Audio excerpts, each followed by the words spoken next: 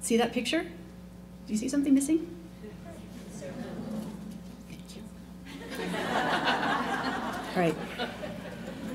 I am, I am that person who goes to the, who everybody dreads, who goes to the neuroscience talks when they're talking about all of their fMRI studies, and I'm the one raising my hand going, can you please explain to me what the activations in the cerebellum mean?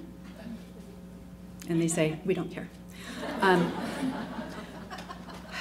anyway, so in thinking about connectomics, um, it's, it's a really very exciting newer area um, because it's, it's starting to hone in on the way that brains function as integrated systems.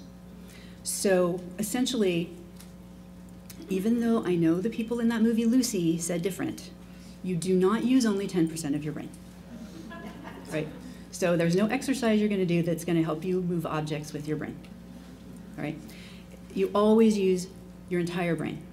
It's just what's working together in what fashion and how they're interacting with each other. All right? Um, so this is very exciting. One of the things that's still sort of missing is that we haven't made many explicit links between different brain networks and the specific behaviors that are associated with them.